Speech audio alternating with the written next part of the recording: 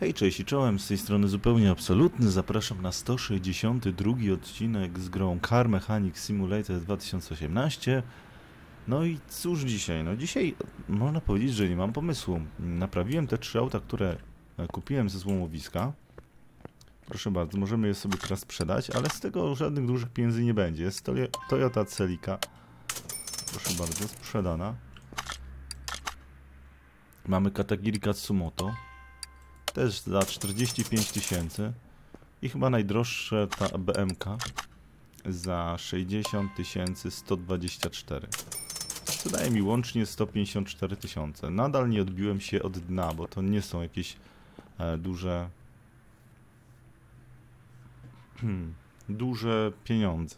A, zapomniałem zmienić. Już tutaj mamy 1800 subów. E, obiecuję, że w kolejnym odcinku to zmienię. No niestety, a, skleroza nie boli.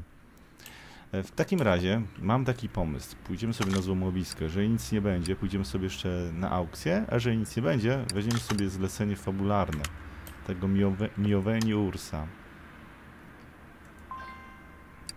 To chyba będzie dobry pomysł. Tylko pytanie, czy na złomowisku kupować samochody? Jeżeli byłby jakieś auto, byłoby jakieś auto takie w miarę, za które bym dostał dużo pieniędzy, jakiś Mercedes, to bym wziął.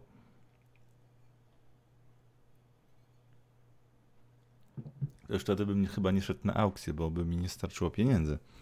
Ogólnie muszę wziąć sobie moją ściągę.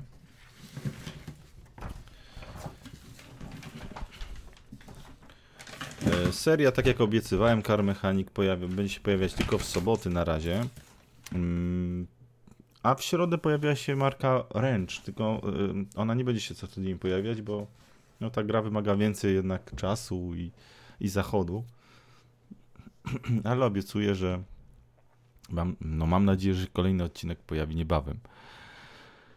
E, co poza tym? Poza tym e, miałem ogólnie pomysł, bo kiedyś obiecywałem, że na początku roku zrobię odcinek z parkingu i pokażę wam moje samochody.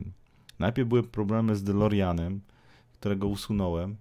No i niestety nadal mam problemy, bo chciałem już nagrywać. Zacząłem nagrywać ten odcinek i na chyba drugim poziomie albo trzecim po prostu wywaliło mnie, e, wywaliło, znowu zawiesiło mi poziom, więc jeszcze jakiś samochód tam bruździ, można tak to nazwać. No zobaczymy. No będę musiał przetestować e, i sprawdzić, które auto muszę wyrzucić niestety z tej całej serii. Najszybciej będzie odszukać tego autora i zobaczyć, jakie on auta dodał i będę wtedy już wiedział, na czym stoję. No okej, okay, tutaj co my tu mamy? Mam tutaj Jeepa za takie pieniądze to raczej się nie opłaca. Tutaj mamy też Volkswagena Golfa. pojawiła się słuszna uwaga przy jednym Golfie, że tam powinien być silnik y, inny niż V6.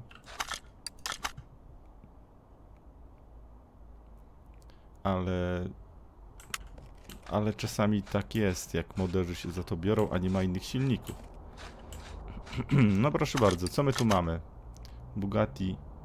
No ale zobaczcie, jakie to są pieniądze. To są nawet auto ze złomowiska kosztuje ponad 200 tysięcy. Wziąłbym, wyremontował, miałbym problem z głowy, no ale bym musiał mieć te 200 tysięcy. Ojej, same problemy. Mm, no tutaj mamy Fiata. 17 tysięcy. Teoretycznie mógłbym go kupić. Eee, może faktycznie za te pieniądze bym coś wyremontował w miarę. No muszę się odbić od dna. Ten kosztuje 16. A ten Dodge Challenger. Ile on kosztuje? kosztuje? 13. Tutaj mamy znowu. I tutaj mamy jakieś auto sportowe. 61 tysięcy. Lamborghini. Było robione, ale kupię sobie to auto i wyremontuję je, ale to już tak do garażu. E, poza odcinkiem oczywiście. Mam nadzieję, że wtedy jakby odzyskam sporo gotówki i będę mógł jakby pomnażać swój majątek Zastanawiam się, czy podliczyć też wartość tych aut, które mam. Może faktycznie byłoby to dość ciekawe. Mm. No. Czemu by nie, prawda? Zobaczę. Dobra. Kupię ten samochód, bo z tego powinien, powinien być dobry hajs, ale jeszcze sobie pójdziemy na aukcję. Co prawda mam już tylko 92 tysiące, ale może akurat się trafi jakiś tam Imperator, albo Echos Cobra, albo Mayen M8. Chociaż one są pewnie droższe. Mm, Porsche 911 chyba nie liczę na to, ale... No niestety, nie ma tutaj nic takiego, co mnie y, y, interesowało. No interesuje mnie jedno auto tutaj. E, natomiast, no niestety, pieniędzy na nie nie mam. Możemy sobie ewentualnie zobaczyć, o jakich e, pieniądzach mówimy. Mayen M3 już było.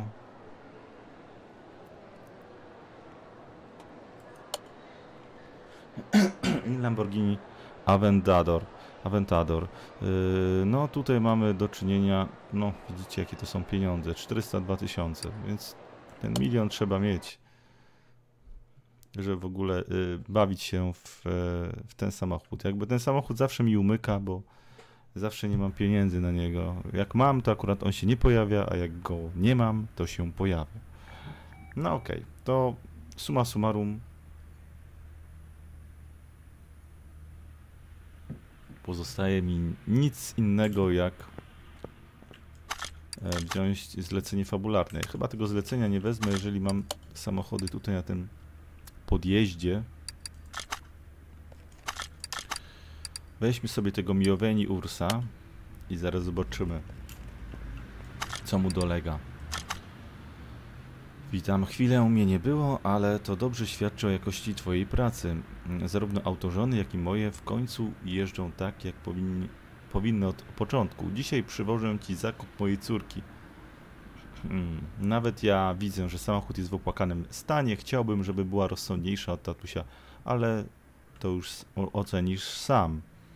Napraw e, lub wymień części karoserii. I tu już widzimy, że że coś pewnie z silnikiem będzie.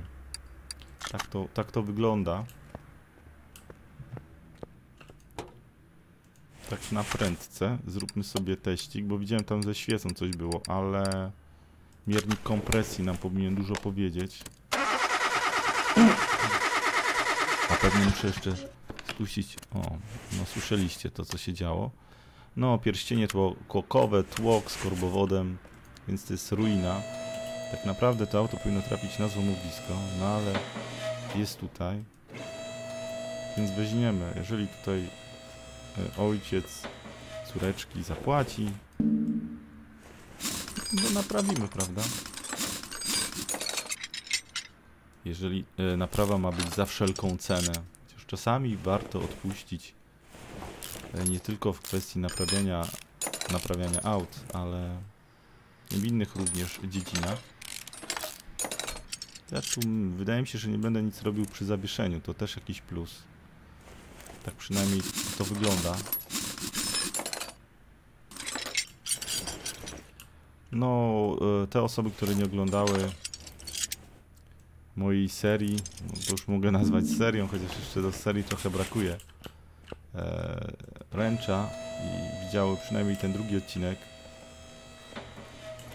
i zobaczyły jak wygląda ten silnik, no to faktycznie to wygląda super.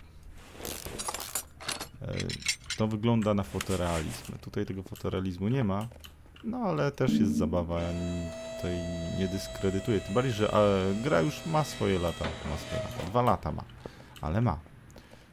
A ręcz powstaje i tak naprawdę ręcz dopiero się jakby kształtuje. To jeszcze wersja nie finałowa. Tam mamy jeden samochód, tak naprawdę bez wyposażenia. Tak naprawdę mamy zabawę z zawieszeniem, mamy zabawę z silnikiem i jakimiś płynami. Fajna fizyka, bardzo mi się podoba i chciałbym właśnie, żeby Car Mechanic do tego gorąco namawiam twórców, żeby mniej więcej poszli w tym kierunku. E, przynajmniej w, w odwzorowaniu auta. Oj, rura wdechowa jeszcze. Pytanie, czy ja muszę... Wiem, że to będzie wymagać sporo, sporo zachodu. No, ale... Jak już zrobiłoby się jakiś taki silnik, y, taki jak jest wręcz, no to... To można by potem naprawdę już y, pozostać przy nim. Coś takiego na wzór e, ETS-a po prostu. Zrobić dobry silnik i, i zostajemy z nim na dobrych kilka, może nawet kilkanaście lat. A wtedy tylko dodawać DLC, rozszerzać jakieś nowe mapy, nowe garaże. To też jest fajne, bo przecież... A, okej. To też przecież można... Dawno y, właśnie oleju nie, nie spuszczałem, więc... To też jest jakieś rozwiązanie. Zobaczcie, jak sobie radzą właśnie i w sumie przechodzą na taki styl e, twórcy, nie? Mamy ETS-y, mamy OMSI, e, mamy trainy różne i tam, tam po prostu dokupuje się, czy, czy symulatory lotu, tam dokupuje się po prostu już potem dodatki. Tylko no fajnie byłoby, żeby jednak ten silnik był taki, no super, nie? żeby nie można było mu już nic zarzucić. Ok, wyciągnąłem to, co miałem wyciągnąć. Będziemy rozbierać e, ten silniczek. Rozbieram wszystko, no bo wiadomo, muszę, muszę rozebrać. Widzieliście przy ręcz, jak się męczyłem przy składaniu. No, poza tym, że tam jest więcej części.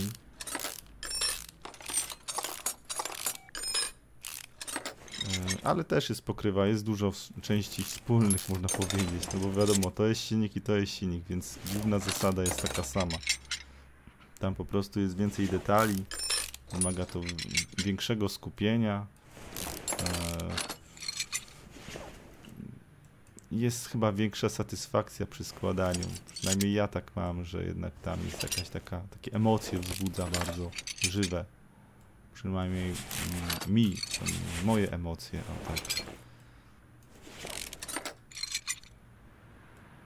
Tam jest jeszcze regulacja, e, więc tam jest troszeczkę inaczej. Ale tam będę nagrywał odcinki może trochę wolniej, ale chcę tak nagrać, żeby ewentualnie inni użytkownicy już nie musieli przedzierać tych szlaków i mogli skorzystać z moich filmików, na przykład e, jak będą chcieli składać silnik albo będą mieli jakiś problem. E, Są też takie e, pułapki, na które ja się złapałem, nie wiedziałem jak coś rozebrać. Typu, kiedy rozbierałem silnik bezpośrednio z, z auta, pewnym momencie utknąłem, bo została mi e, głowica, nie, blok silnika i miska olejowa i nic nie mogłem dalej z tym robić. Miska była odkręcona, nie schodziła. Się okazuje, że są takie wirtualne, e, bo nie widać, żeby ten silnik na czymś się opierał, na jakiejś ramie, czyli też są jakieś uproszczenia, e, ale po prostu są tam śruby, które trzeba po prostu odkręcić z ramy i wtedy można wyjąć cały silnik już dużo, dużo wcześniej niż ja to zrobiłem i wtedy dopiero miska jest, jest możliwe ściągnięcie miski olejowej. E, Także, ale to już znalazłem rozwiązanie gdzieś tam w opisach. E, Sam na to nie wpadłem. Znaczy domyśliłem się, ale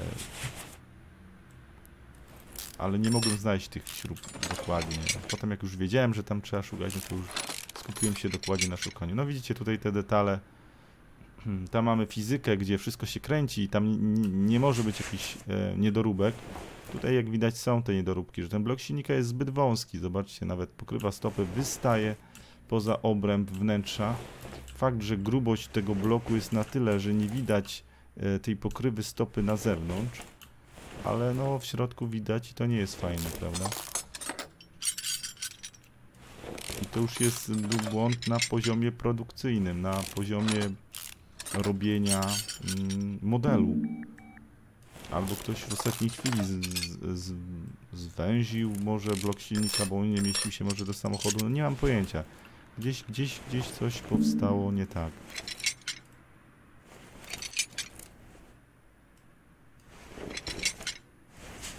Tak sobie gadam i w sumie nie wiem co robię.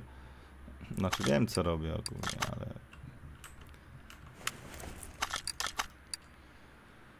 E, dobra, teraz możemy sobie, wydaje mi się, a zobaczmy czy ja coś w ogóle naprawię z tego wszystkiego. No nie naprawię. A tutaj muszę wymienić elementy czerwone.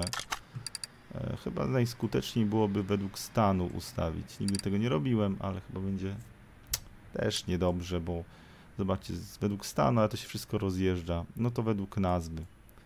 Wracam do stałego. Potrzebujemy cewki, filtr oleju R4, listwa wtryskowa e, MPI.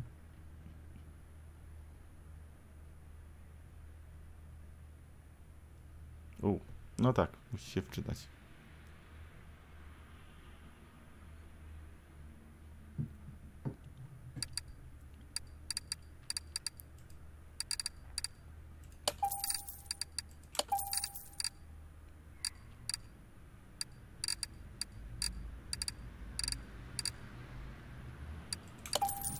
Dobra, trzy rzeczy mamy. Od razu je sprzedam, żeby nam się tu nic nie pomieszało. Pierścienie, e, pokrywy stopy, przewody. Ok, a i wał korbowy jeszcze.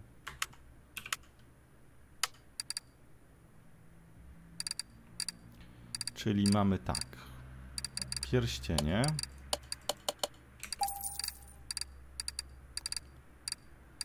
Pokrywy stopy.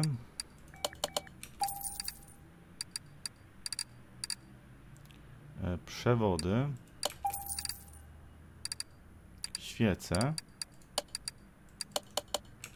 Tłoki. No i wał korbowy R4.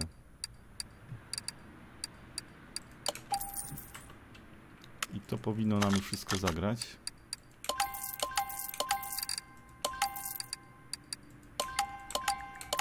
Szczęście to są, mamy tutaj tylko cztery tłoki, więc mniej kupowania, mniej szukania. No nie ma tu tak ważnego elementu na przykład w silnikach jak uszczelki, prawda? Często słychać, że pęknięta uszczelka, powód e, awarii silnika, pęknięta uszczelka pod głowicą. Oczywiście e, uszczelka. Pytanie, czy uszczelka jest powodem? No jest powodem awarii, tylko czy ona była jakby pierwotnym powodem, czy konsekwencją tego, że na przykład, nie wiem, było no coś nie tak, tak? Z, z innym elementem, może było przegrzanie i ta uszczelka się rozszczelniła. Czy uszkodzony tłok? No nie wiem, coś, coś mogło być nie tak. Więc e, e, eliminacja samej uszczelki to e, to być może, być może wymiana samej uszczelki nie rozwiąże problemu, tak? Trzeba dokładnie wtedy sprawdzić wszystkie tłoki.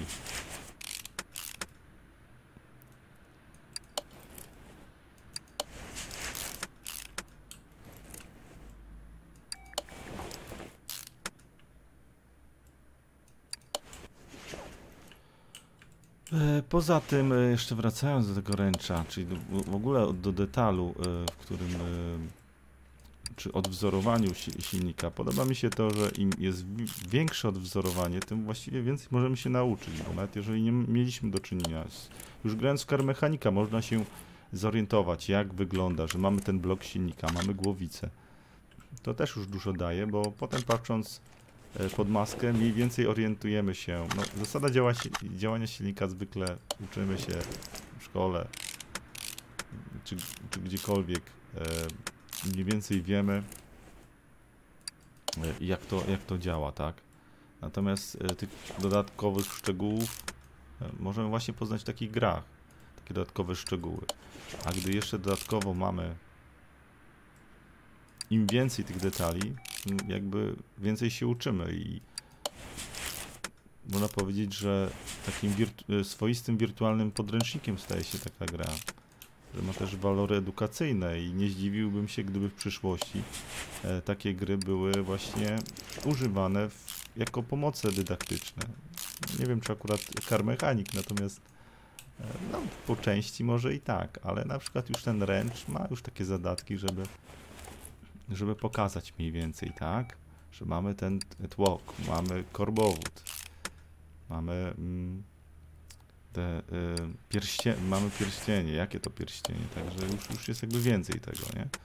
Tutaj troszeczkę uproszczone, no ale też w sumie troszeczkę też można na początku, żeby nie odstraszyć uczniów, pokazać e, jak jest zbudowany silnik, a potem jakby nawiązywać, że tutaj jest uproszczenie, bo faktycznie jest i tak, nie? No to jest ciekawa sprawa. I tak mogłoby się tyczyć różnych innych zawodów, nie tylko mechanika samochodowego. Można by się uczyć, nie wiem, lekarza na przykład. Ale to też by wymagało więcej pracy, ale kto wie, może ktoś by nauczył się właśnie wirtualnie, złapałby bakcyla i w przyszłości został tym lekarzem na przykład. A tak to może nie mieć możliwości. Tak samo mechanikiem.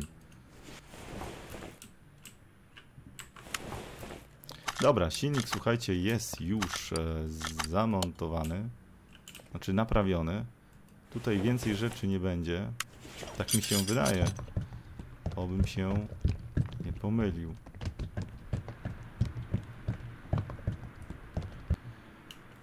E, przyjrzę, przejrzę teraz listę. Mm, Nie znaleziono części, ale to już wiem jaka części. Dwie części, dwie części prawdopodobnie powiązane, bo widziałem tam e, na pewno mm, mm, zbiornik paliwa. Więc jak zbiornik, to pewnie i pompa paliwa. Paliwowa. No tak właśnie. Jak widzicie, zgadłem. I w miarę nam to dzisiaj szybko poszło, aż jestem zdziwiony, że tak fajnie i tak łatwo. Takie zadanie. Nie wiem, które to już jest zadanie, bo ich na pierwotnie było mniej. Pamiętam, że gdzieś w jakiejś, jakimś portalu były wyszczególnione te wszystkie e, zlecenia, ale ja już dawno przekroczyłem te zlecenia, więc musiały być po jakiejś aktualizacji dodane.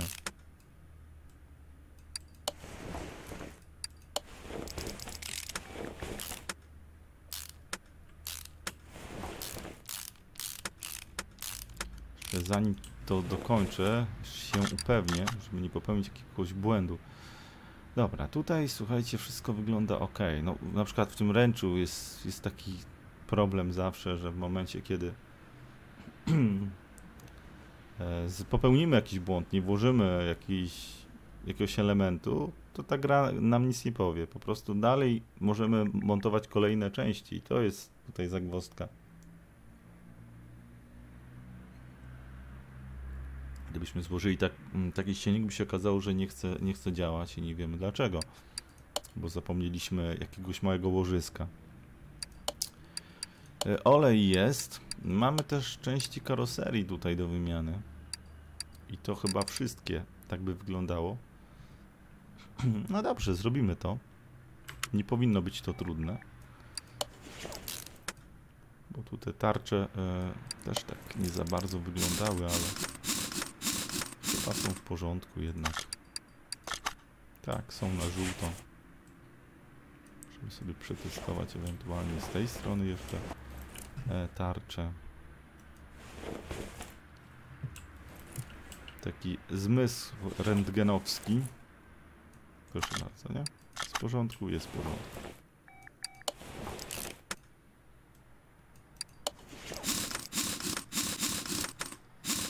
Okej. No dobrze. Eee, dobra. Ja najpierw to zdemontuję wszystko. Ponaprawiam, co mi się uda. Niestety tutaj e, świateł nie naprawię, bo akurat w tej wersji gry nie można tego robić.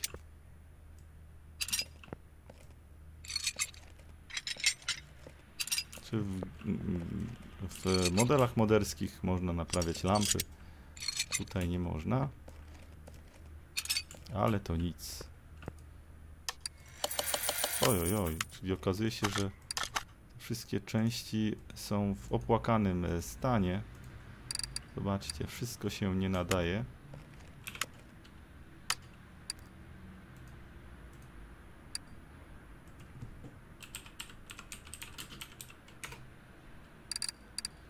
Ale to tym łatwiej będzie nam, bo wiemy, że musimy kupić wszystko.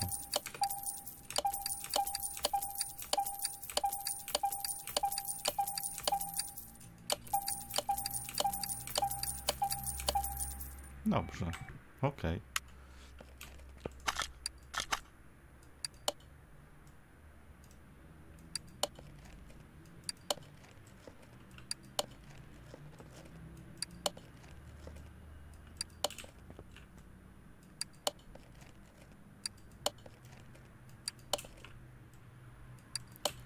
Czyli zadanie wcale nie było tak bardzo trudne.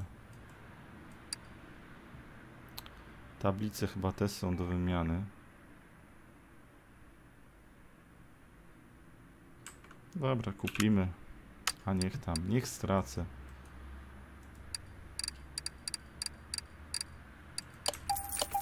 Dwieście dolarów.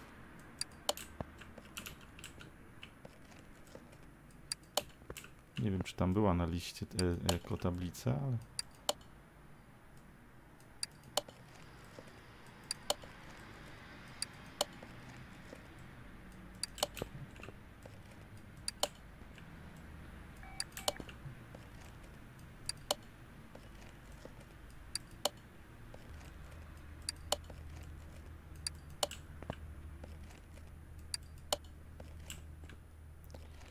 Słuchajcie, no wygląda, że jest wszystko. Tu mamy wszystko. Części karoserii wszystkie. Tu jest jeszcze stan ramy taki i stan wnętrza. A już zlituję się nad nimi. Też nie powinienem tego przy zleceniach takich robić. Ale normalnie oczy mnie bolą, jak widzę, że mam lakierować taką pordzewiałą karoserię. Albo serce mi się kraje, może tak bardziej by pasowało.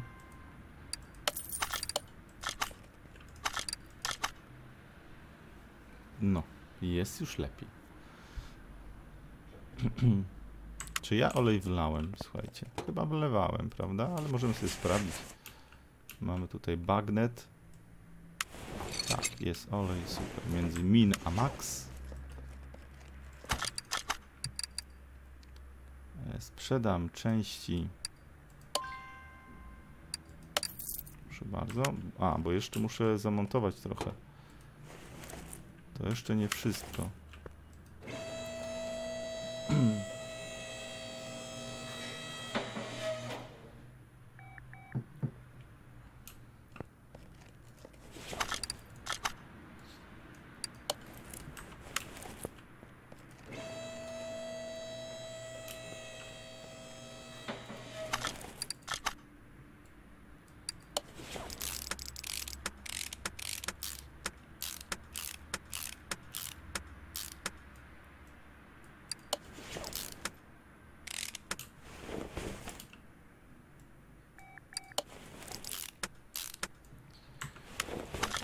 E, Super.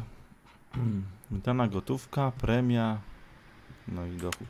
Oczywiście jeszcze muszę polakierować, tak? Bo mamy tutaj pierwszy punkt, jeszcze raz przejrzyjmy dobrze. Naprawiłem części karoserii, wymieniłem olej i e, kolor fabryczny. Nadal jest ten błąd, że bieżącym. Tu jest mnóstwo takich drobiazgów.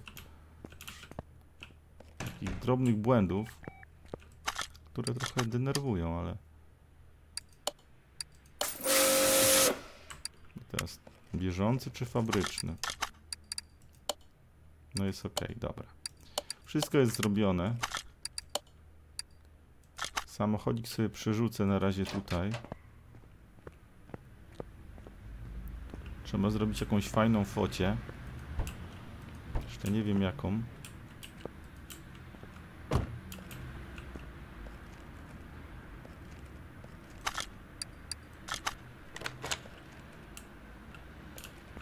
Właśnie.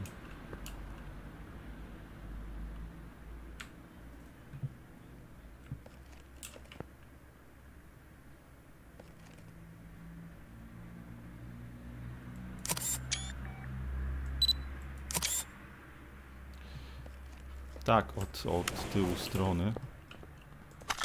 Może niezbyt ciekawie. Dobra, kończę zlecenie. E, odblokowano osiągnięcie Game Over. No proszę bardzo. Jak to ciekawie brzmi. Czyli zrobiłem wszystkie zlecenia fabularne. Super. Dostałem nawet skrzynkę. A w skrzynce nic. Czyli no liczyłem, że coś więcej, ale jednak nie. Co prawda mam tutaj jakość plus 2,5%. Tutaj tak samo ulepszone plus jakość plus 1. Ale jakoś te części w ogóle nie czuję tego, żeby... Nie mam nawet ochoty, żeby je dodawać do, do samochodów.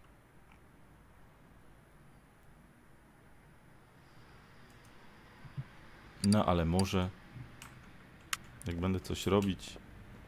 No mówię, brakuje mi tego, żeby można było po prostu wiecie, dodawać e, markę z, z samochodu i żeby pokazywał, które części są do tej marki. To byłoby fajne. Taki filtr. To byłoby chyba wszystko w tym odcinku. Zastanawiam się, czy jakieś zlecenia fabularne są. Przyjmę sobie jakieś zlecenia.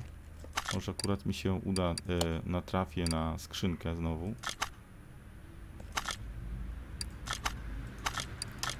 Lubię takie proste właśnie, jak tutaj mamy na przykład, że tylko e, karoseria, wymiana karoserii, a tam mieliśmy tylko z wydechem problem, więc są takie nietrudne e, zajęcia.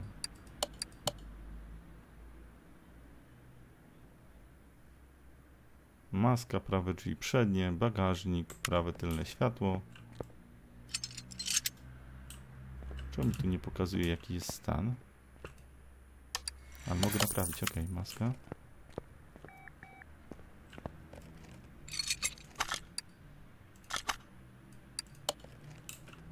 Prawe drzwi przednie. Bagażnik, prawe tylne światło.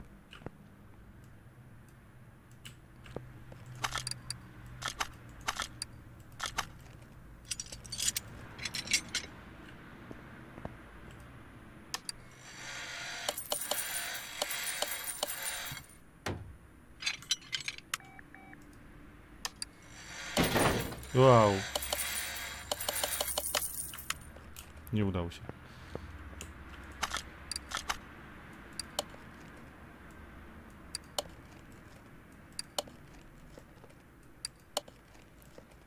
Hmm, czyli będę musiał kupić jednak e, prawe drzwi przednie. Przednia lewa szyba boczna, tylna prawa szyba boczna.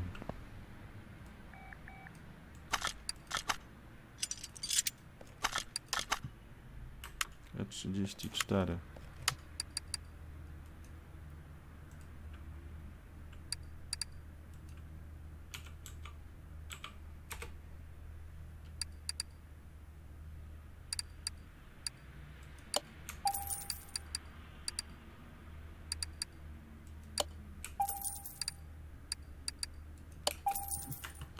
tak to się robi, słuchajcie. Tak to się robi w warsztacie nie mogę zakończyć tego odcinka. E, dobra, zobaczmy. Przednia lewa szyba boczna jeszcze. Ale chciałem, e, chciałem jakąś znaleźć skrzynkę, ale taką, która da mi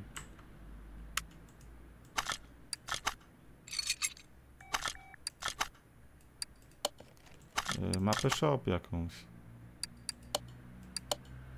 Widzicie, tutaj tylko kolor fabryczny i, i temat załatwiony. Nie było to trudne.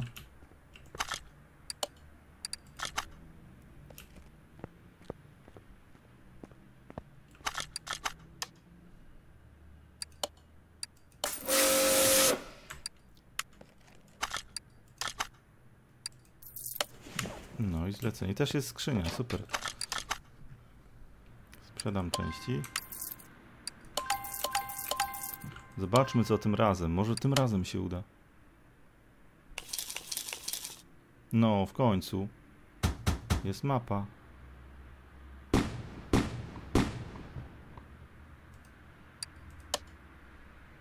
Także będzie co odkrywać, ale już to w przyszłym odcinku, bo nie chciałbym tego robić y, teraz z uwagi na to, że mogłoby się okazać, że znajdę tam jakiś samochód, a nie będę miał pieniędzy. Jak sprzedam tego y, to auto, zrobię to na pewno poza odcinkiem. A, kurczę. No będę musiał to jakoś wykombinować. Albo dobra, w trakcie odcinka to zrobię. Będziemy robić tak jak dzisiaj. Będziemy po prostu poszukiwać e, poszukiwać e, samochodu do naprawy. No już niestety zleceń fabularnych nie zrobię.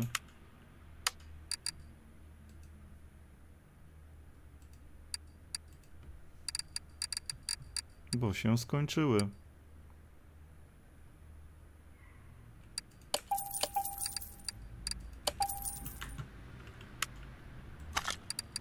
No wydech też jest prosty, albo jakieś skrzynia biegów do naprawy też jest prosta.